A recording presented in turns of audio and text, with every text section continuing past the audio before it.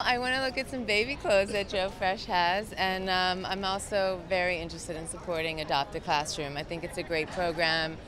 I applaud J.C. Penney for you know doing so much with charity, with all different charities, but this one particularly is is a great one. Well, I'm wearing some clothes that Joe Fresh sent me, and I was happy to do it. Oh, my daughter is way more stylish than I am. She can get away with a lot more, um, and she, you know, she's very girly and she loves bright clothes and she never met a tutu she didn't like. So it's fun. It's fun shopping for for kids and it's it's wonderful to shop for her because you know there's so many great kids clothes out there now.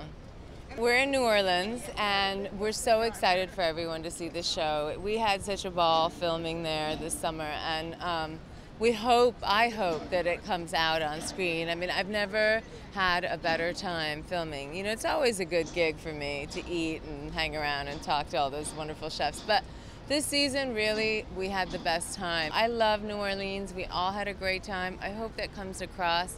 Um, I think you'll find it's a looser, more casual, more funky Top Chef. Because that's what it was when we were filming. Let's hope that comes through.